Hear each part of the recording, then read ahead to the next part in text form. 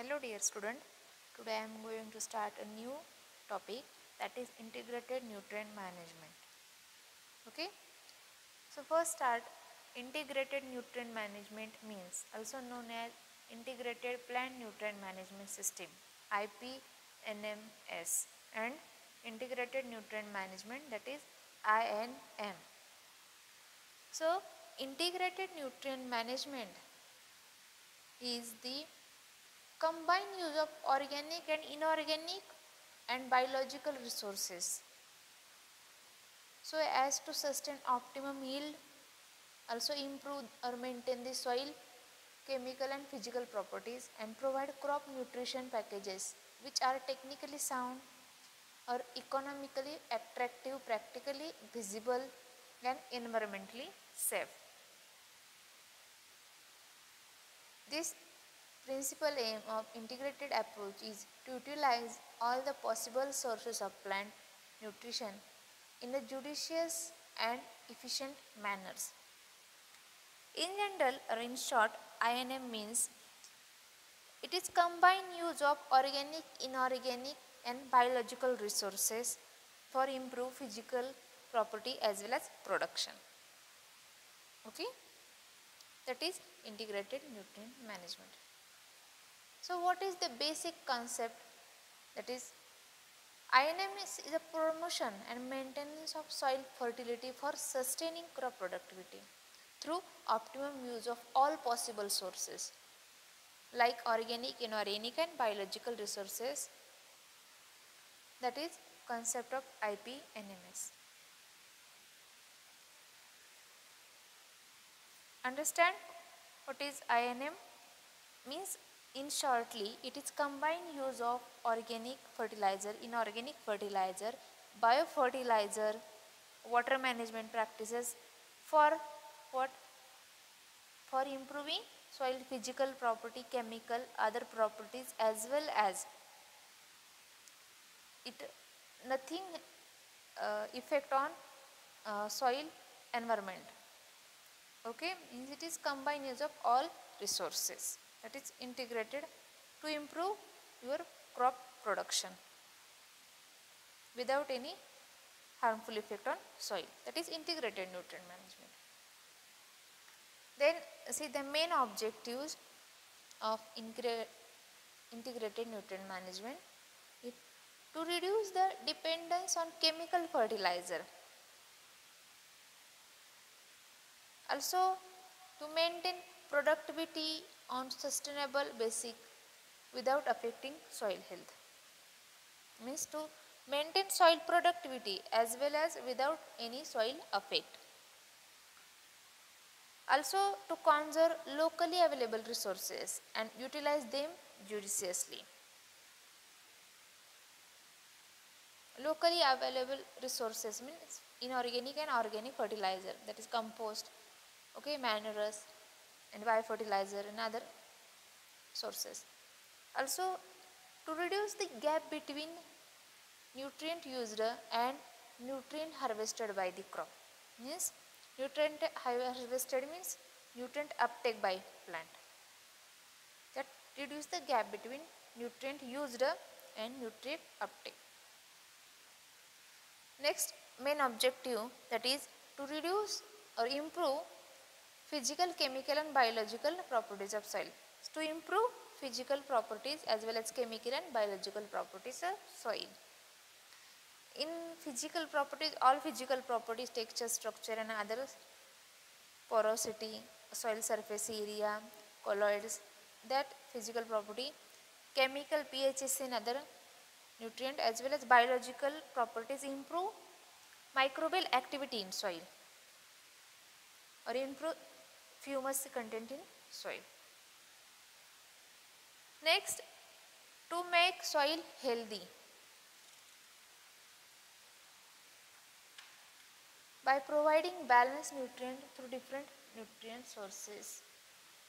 Also, next objective to overcome or reduce the ill effect on continuous use of only inorganic chemical fertilizer means it reduce continuous use of inorganic fertilizer Inorganic fertilizer means it is chemically synthetic inorganic fertilizer. It reduces that is integrated nutrient management. It also used organic and inorganic fertilizer. But continuous use of chemical fertilizer affect the soil health. That's why integrated system it reduce the chemical fertilizer use. Then next objective to overcome and reduce ill effect also of soil and to improve economical status of farmer and also increase the fertilizer use efficiency. So fertilizer use efficiency means that fertilizer added at the time, right time, right place, right method for improving fertilizer use efficiency. So, suppose uh, you have a 100 NPK dose, 150-50 NPK respectively any crops. That time fertilizer use efficiency 100 means nitrogen use only 50% at the time of basal application and remaining 50% use other interculture operation improve their nutrient use efficiency. Next important is component of INM. There have six major component use of inorganic fertilizer, use of organic fertilizer or organic minerals, use of biological sources means biofertilizer, maintaining physical, chemical and biological properties of soil as well as management of problematic soil that is saline soil, alkali soil, saline alkali soil, acidic soil and other problematic soil and last component that is better water management practices. Okay, see one by one. Then first use of inorganic fertilizer. So the inorganic fertilizer they are very important for sustaining and increasing food production. Also different kinds of fertilizer are commercially available in the market for all the major and micronutrients. That's why they are costly inputs and other excessive use may deteriorate soil quality and food quality. Hence, there is a need to improve their use efficiency through efficient and balanced fertilizer management. And essentially follow the 4R formula. That is right type of fertilizer, right dose of fertilizer, right method of fertilizer and right time of application. That improve or use uh, inorganic fertilizer. Means when to apply fertilizer, time, method, type, okay, that our formula is used in inorganic fertilizer that is first component. Then second component that is use of organic manures material. Due to intensive cultivation of soil, and less organic matter application, the soil are low in organic matter status. Okay. So, a decrease in soil organic matter result in compact soil, also poor irrigation, poor aeration and low infiltration rate as well as water holding capacity and also low fertility status. means then uh, see the advantage of organic matters in soil. That is organic matter status in soil can be improved and maintained by constant addition of organic matter such as FOM, compost, green manures, poultry manures, vermicompost, oil cake that improve your water holding capacity as well as nutrient status. And organic matter is a good source of macro and micronutrients. And over improve physical, chemical and biological properties of soil. That is important component of INM. that is use of organic manures or organic fertilizer. Then see next component that is use of biofertilizer or biological resources. In biofertilizers are culture of microorganisms like bacteria, fungi and algae. Their use benefits the soil and plant growth by providing nitrogen and phosphorus. Also brings about the rapid mineralization of organic material in soils. Also biofertilizer are capable fixing nitrogen, solubilizing and mobilizing the phosphorus and mineralizing organic matter in soil. Also that biofertilizer incorporation improve the physical and biological properties of soil. In biological property, it increase the microbial count in soil and increase also soil aeration, soil porosity, also improve water holding capacity. Also, compost and manures is easy to decompose due to microbial activity. That is third number component of INM. Next and fourth in component that is maintaining the physical properties of soil. That physical properties such as soil aggregation, soil texture, structure, aeration, water holding capacity, infiltration rate should be maintained regularly through better cultivation practices and organic manures application to maintain soil fertility and nutrient availability.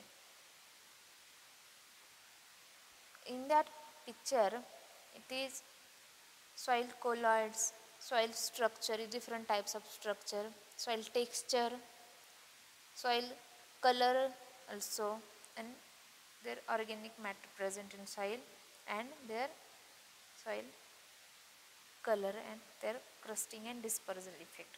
That is physical properties of soil improve if, if using INM in hmm, soil. Next component that is with management of problematic soil. We also all knows that is what is the problematic soil.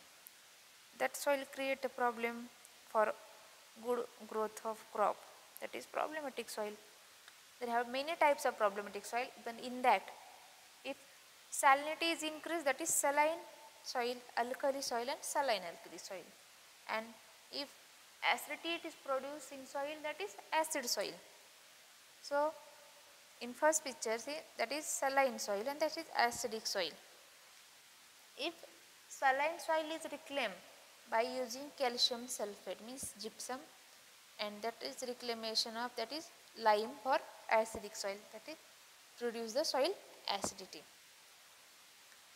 But if uh, saline soil is produced due to high salinity in soil, it is leaching of nit uh, sodium is less and acid soil it form due to high rain form in high rainfall area due to continuous percolation or infiltration of calcium magnesium in lower area that that get color red. Okay? That is your two types of soil mostly saline and acidic soil that is management that is fifth component and that management problematic soil improve also all physical, biological and chemical property when added organic, inorganic fertilizer as well as it proper management of water as well as biofertilizer that improve the problematic soil. Next, there problematic soil such as acid and alkaline soil also waterlogged soil known as decreased soil productivity of also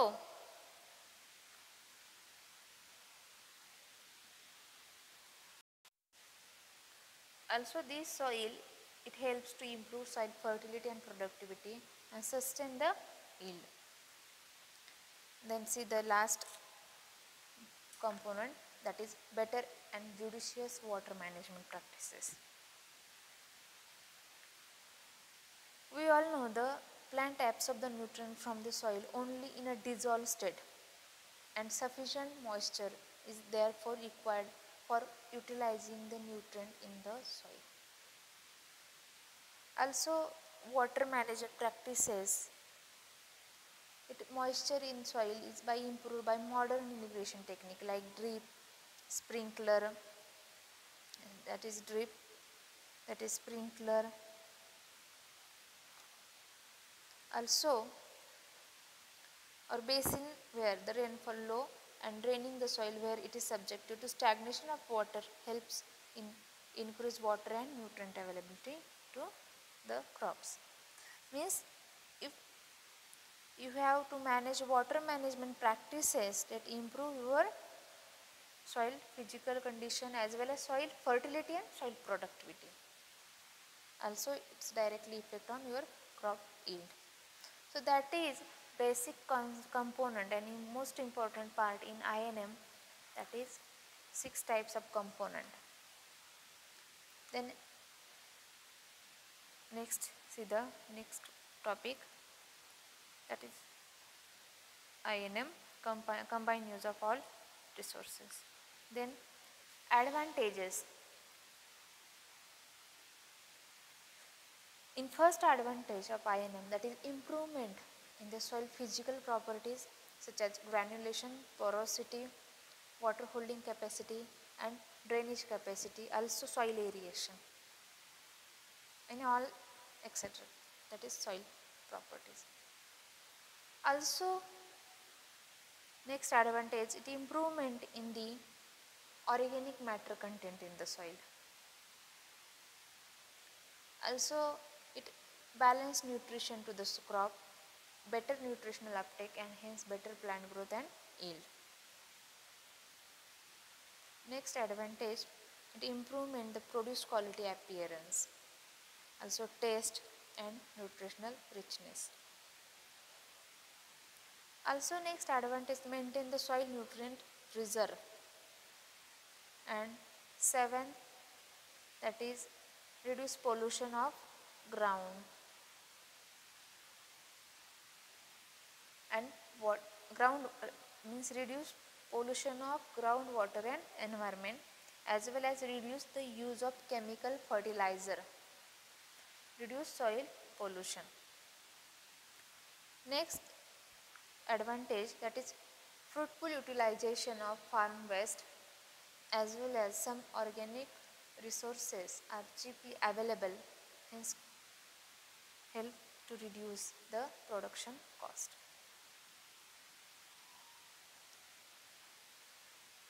Also it improve the beneficial soil microorganism and better tolerance of biotic abiotic stresses and last advantage that is residual effect remains beneficial to the succeeding crop. Next crop. These are 12 advantages of integrated nutrient management. So in that important it improve physical properties also in general in shortly INM improve your soil fertility, productivity as well as soil health. Also improve your farmer, farmer status means reduce your cost on fertilizer of farmers also improve your biological property means microbial activity increase. These are the in short advantages due to INM. Next is there in shortly advantage that is weed control, disease control in pest in related to farm. Also soil fertility, soil biological function, erosion control and increase green yield. These are basic advantages of INM. So, if any difficulty in integrated nutrient management, component advantages, their concept and definition, you can ask me okay thank you for the listening